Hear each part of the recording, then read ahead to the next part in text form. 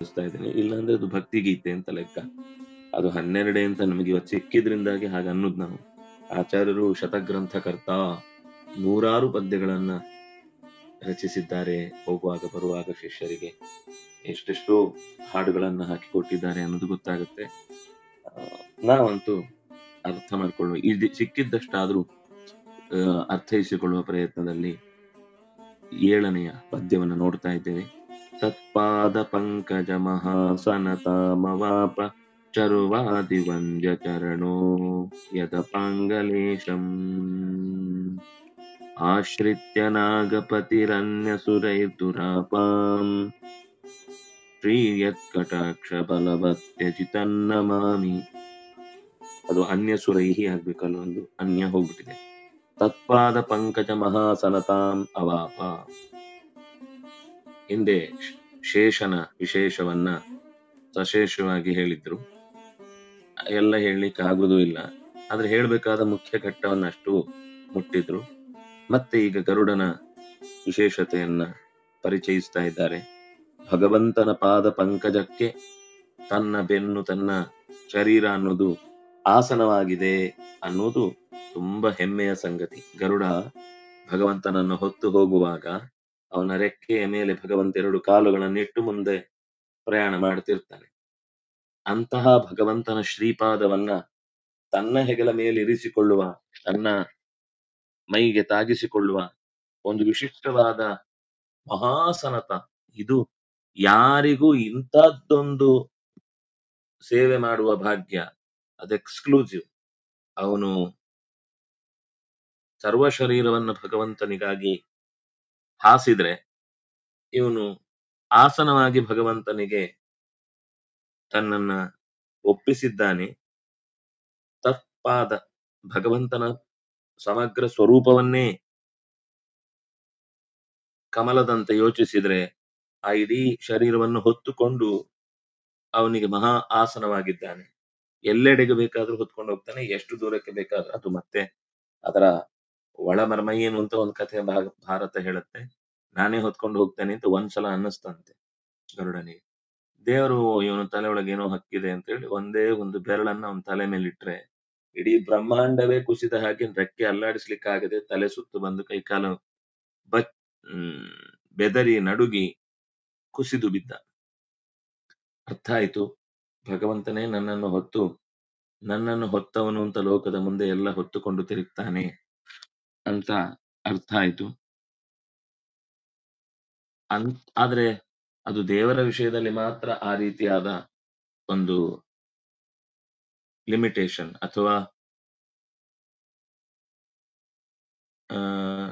ಏನೋ ಒಂದು ದೋಷ ಇದೆ ಅನ್ನುವ ಹಾಗೆ ಎತ್ಲಿಕ್ಕಾಗ್ಲಿಲ್ಲ ಅನ್ನುವ ಅಂಶ ಅದು ಪರಮಾತ್ಮನನ್ನ ಹೊರತುಪಡಿಸಿ ಬೇರೆಯವರಲ್ಲಿ ಈ ಮಾತಿಲ್ಲ. ಯಾಕಂದ್ರೆ ತುಂಬಾ ಎತ್ತರದ ತತ್ವವಾಗಿ ಗರುಡ ಮತ್ತೆ ನಮಗೆ ಧ್ಯಾನ ಮಾಡಬೇಕಾದ ವಿಷಯಗಳನ್ನ ಹೃದಯದಲ್ಲಿ ಧಾರಣೆ ಮಾಡಲಿಕ್ಕೆ ಶಕ್ತಿ ಕೊಡುವಂತಹ ವೇದದ ಛಂದೋಮಯೇನ ಪುರುಷೇನ.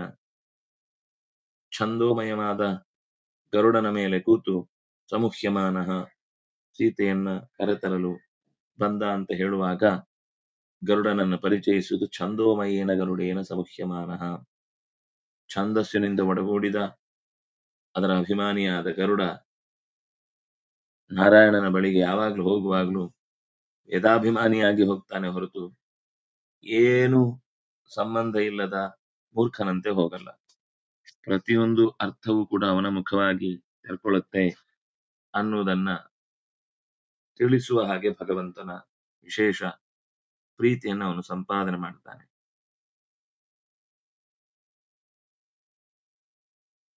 ಅವಾಪ ಹೊಂದಿದನು ಮಹಾಸನತ ಎಂಥ ಭಾಗ್ಯ ರೀ ಅದು? ಮಹಾಸನತ.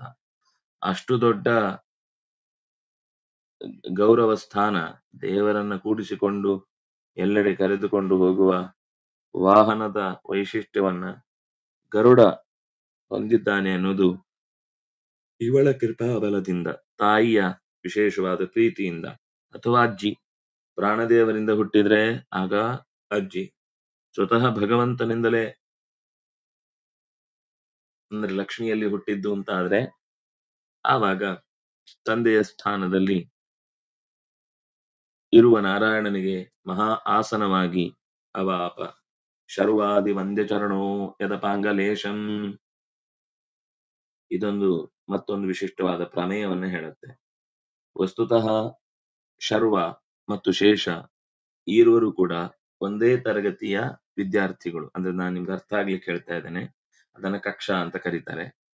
ಆ ಒಂದೇ ತರಗತಿಯಲ್ಲಿ ಇರುವವರಿಗೆ ಸಮಾನವಾದ ಯೋಗಕ್ಷೇಮ ಇದ್ದು ಒಂದೇ ತರದ ಅಧಿಕಾರವನ್ನು ಪಡೆಯುವಂಥದ್ದಾಗುತ್ತೆ. ಆದರೆ ಇನ್ನೂ ಸಾಧನೆ ಮುಗಿಯದೆ ರುದ್ರದೇವನ ಮತ್ತೆ ಆ ಪದವಿಯಲ್ಲಿ ಕುಳಿತು ಮಾಡಬೇಕಾದ ಮಹಾಪ್ರಳಯದ ಕರ್ತವ್ಯದಲ್ಲಿ ಭಗವಂತನಿಗೆ ರುದ್ರದೇವ ಎಲ್ಲವನ್ನು ಒಪ್ಪಿಸಿದ ಮೇಲೆ ಯಾವ ರೀತಿಯಾದ ಅಡಚಣೆಯೂ ಇಲ್ಲ. ಹಾಗೆ ತನ್ನನ್ನ ಭಗವಂತನಿಗೆ ಒಪ್ಪಿಸ್ಲಿಕ್ಕೆ ಸಿದ್ಧನಾದ ಶೇಷ ರುದ್ರದೇವನಿಂದಲೂ ಕೂಡ ವಂದಿತ ಅಂತ ಹೇಳ್ತಾರೆ. ಶರ್ವಾದಿ ವಂದ್ಯ ಚರಣ ಪರಮಾತ್ಮನ ಜೊತೆಗೆ ಬಿಡುಗಡೆಯ ದಾರಿಯನ್ನ ಹೊಂದುವ ಸಂದರ್ಭ ಅವನಿಗೆ ಬೇಗ ಬರುತ್ತೆ. ಆದ್ರಿಂದ ಇವನಿಗೆ ಒಂದೇ ತರಗತಿಯವನಾದ್ರೂ ಕೂಡ ತಡವಾಗಿ ಆ ಭಾಗ್ಯ ಒದಗುವುದರಿಂದ ಶರ್ವ ಇನ್, ಆ, ಶೇಷನಿಗೆ ನಮಸ್ಕರಿಸ್ತಾನೆ. ಶೇಷ ಶರ್ವನಿಂದ ವಂದಿಸಲ್ಪಡ್ತಾನೆ ಅಂತ ಅರ್ಥ ಅದಕ್ಕೆ.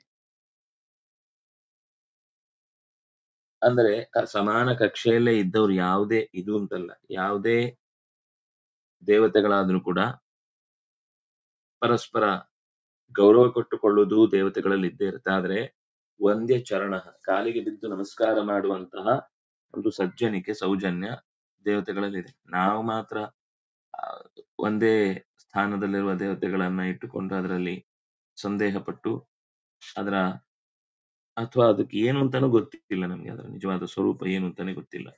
ಹಾರಾಡ್ತಾ ಇರ್ತೇವೆ. ವಂದ್ಯ ಚರಣ. ಪಾದ ಸ್ಪರ್ಶ ಅನ್ನೋದು ತುಂಬಾ ಸಮರ್ಪಣೆಯ ಸಮರ್ಪಣೆಯ ವಿಶಿಷ್ಟ ಭಾವ. ಸ್ವತಃ ಶೇಷನನ್ನ ಶರುವ ಸಮರ್ಪಣೆ ಮಾಡಿಕೊಳ್ತಾನೆ ಅಂದ್ರೆ ಶೇಷನ ಭಾಗ್ಯ ಎಷ್ಟು ದೊಡ್ಡದು. ಗರುಡ್, ಆ ನಾನು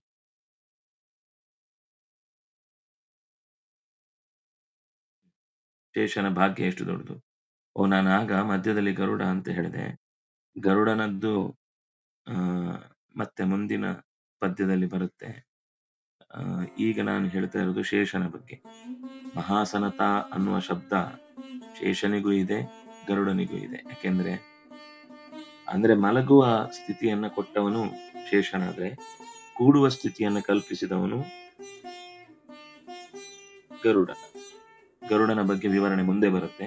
ಇದು ಶರ್ವ ಗರುಡನ್ನ ನಮಸ್ಕರಿಸ್ತಾನೆ ಅನ್ನೋದ್ರಲ್ಲಿ ಏನು ತಪ್ಪಾಗ್ಲಿಲ್ಲ, ವಿಷಯ ತಪ್ಪಾಗ್ಲಿಲ್ಲ. ಆದ್ರೆ ಹೇಳಲಿಕ್ಕೆ ಹೊರಟ ವಿಷಯ ಅದು ಶೇಷನ ಬಗ್ಗೆ ಅನ್ನೋದನ್ನು ಮನದಟ್ಟು ಮಾಡ್ಕೊಳ್ಳಿ. ನಾನು ಆಗ ಹೇಳಿದ್ದೆಲ್ಲವೂ ಕೂಡ ಶೇಷನ ಪರವಾಗಿ ಚಿಂತಿಸಬೇಕಾದ ಅಂಶ. ಶರ್ವಾದಿ ವಂದ್ಯ ಚರಣ ಶರ್ವನೇ ಮೊದಲಾದ ಪ್ರಧಾನ ದೇವತೆಗಳಿಂದಲೂ ಕೂಡ ಶೇಷ ವಂದಿತನಾಗಿದ್ದಾನೆ. ಯದಪಾಂಗಲೇಶಂ.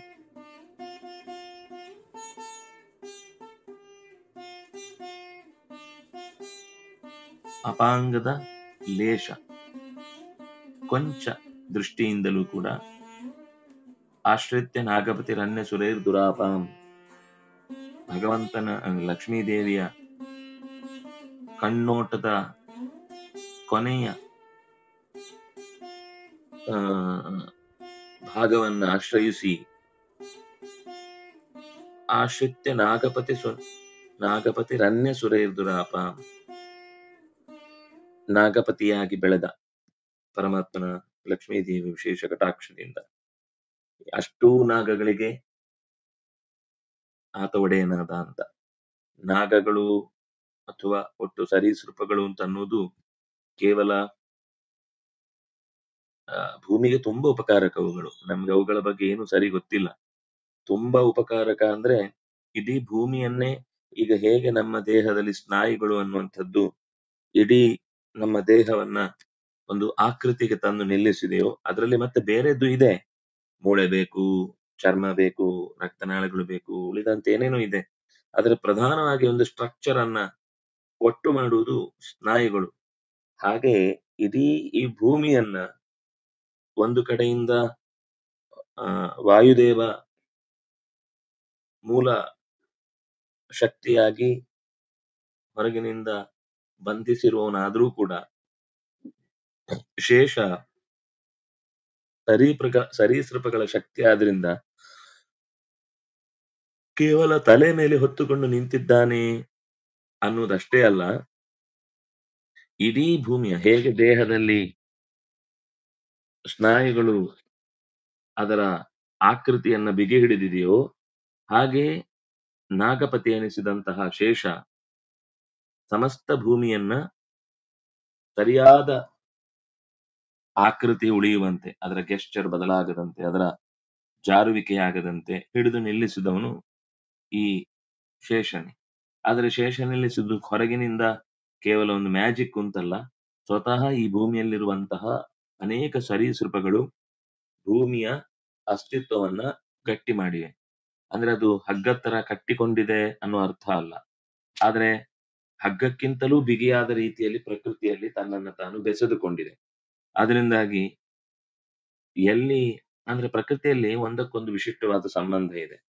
ಜಿಂಕೆ ಜಾಸ್ತಿ ಆಯ್ತು ಅಂದ್ರೆ ಆ ಊರಲ್ಲಿ ಕೆಲವೇ ಕೆಲವು ವರ್ಷಗಳಲ್ಲಿ ಬರ ಬರುತ್ತೆ.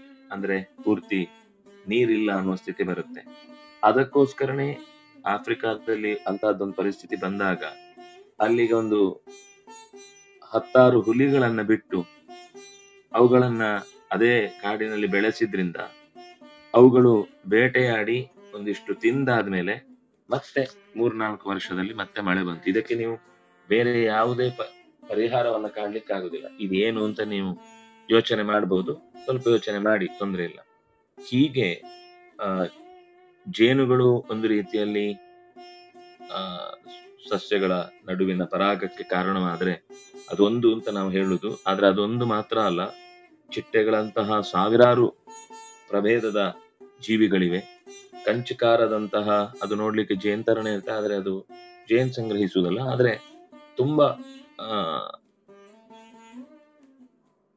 ಮರ ಗಿಡಗಳ ಸಂಬಂಧವನ್ನ ಗಟ್ಟಿಗೊಳಿಸುವಂತದ್ದು ಹೀಗೆ ಹಲವು ರೀತಿಯ ಸಂಬಂಧವನ್ನ ಭೂಮಿಗೆ ಶೇಷ ನೀಡಿದ್ದಾನೆ ಅದರಿಂದಾಗಿ ಅವನು ನಾಗಪತಿ ಮತ್ತೇನು ಅಂದ್ರೆ ಈ ಮಹಾಸನತ ದೊಡ್ಡ ಆಸನ, ಆಸನನಾಗಿ ಅದು ಮಹಾಸನತ ಅನ್ನೋದು ಶೇಷನಲ್ಲಿ ಸಾರ್ಥಕ ಯಾಕೆ ಅಂದ್ರೆ ತಲೆಯ ತಲೆಯಿಂದ ಕಾಲಿನ ತನಕ ಅಷ್ಟನ್ನು ಚಾಚಿ ಮಲಗ್ಲಿಕ್ಕೆ ಆಗುವಂತಹ ವಿಶಿಷ್ಟವಾದ ಆಸನ ಶಕ್ತಿಯನ್ನ ಶೇಷ ಹೊಂದಿದ್ದಾನೆ ಅನ್ನುವ ಕಾರಣಕ್ಕಾಗಿ ಮಹಾಸನತ ಅನ್ಯ ಸುರೈ ದುರಾಪ ಬೇರೆ ಯಾವ ಸುರರಿಗೂ ಸಿಗದ.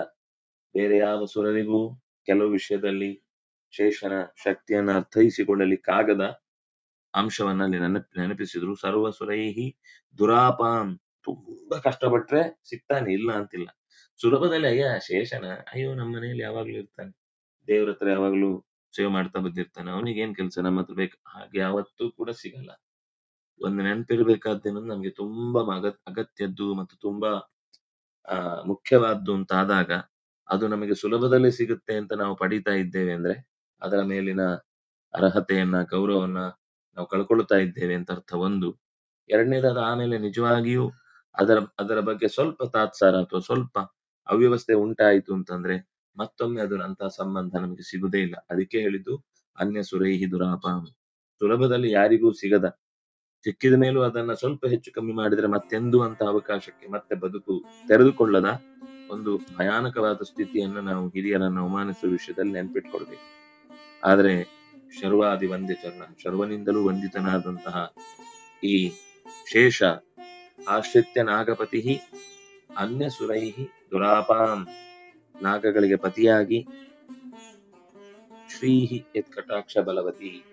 ಯಾವ ರಮೆಯ ಕಡೆ ಗಣ್ಣ ನೋಟದ ಕಾಂತಿಗೆ ಒಳಗಾಗಿ ಬೆಳಕಾದ್ನೋ?